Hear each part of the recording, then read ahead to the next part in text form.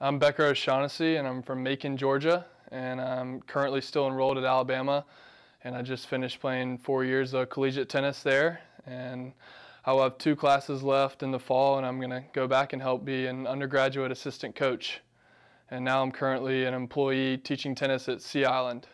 Uh, I grew up loving playing all sports. I played soccer, football, baseball, everything, and um, and I loved it. And I was competitive, extremely competitive. So any sport I could play, I'd challenge anyone to do it. I was on all different teams. And I did that all the way up until high school where I kind of had to narrow it down and focus on what sports I really wanted to pursue because I knew a few years I'd be at a collegiate level. So I ended up running track and I did high jump because I was able to be, was able to be flexible with my tennis schedule and I also played soccer my freshman year.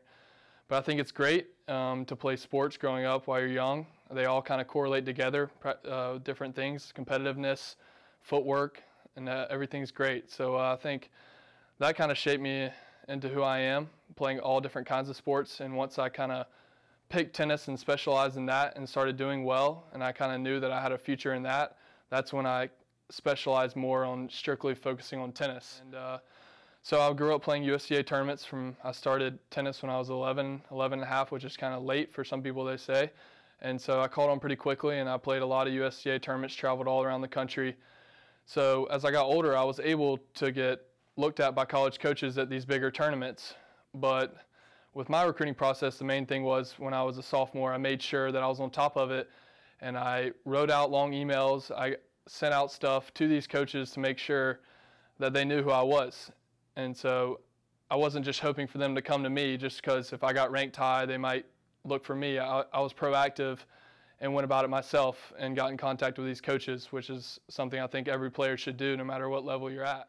Um, I think uh, taking official visits are, are great. Um, I took mine to Alabama and Georgia Tech, and you get to meet the whole team. You get to meet the players. You get to see what the atmosphere is like. You get to see the campus, the coaching staff. I think I feel like you get a good grasp of everything that the school has to offer.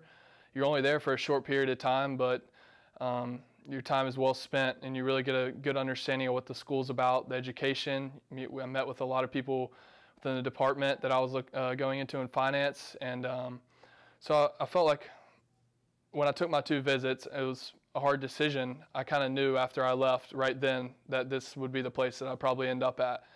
So I feel like you can figure out a lot of things on the official visits and, um, and just kind of try to take advantage of them and get to know the coaches as well as you can, the the people, I mean, the athletic staff, uh, everyone, everyone you come into contact with, and, and kind of get a feel of what it's going to be like if you go there.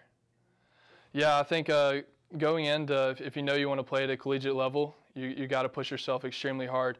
I mean, once, once I dedicated myself to tennis, which was right when I kind of hit high school, like full force, I mean, I, I, would train three to four hours a day, no matter what, and uh, I was still enrolled in school, so I would train in the morning three days a week at 6 a.m. for an hour and a half before I even went to school. And then after school, I would go practice more and do fitness. I had a workout schedule.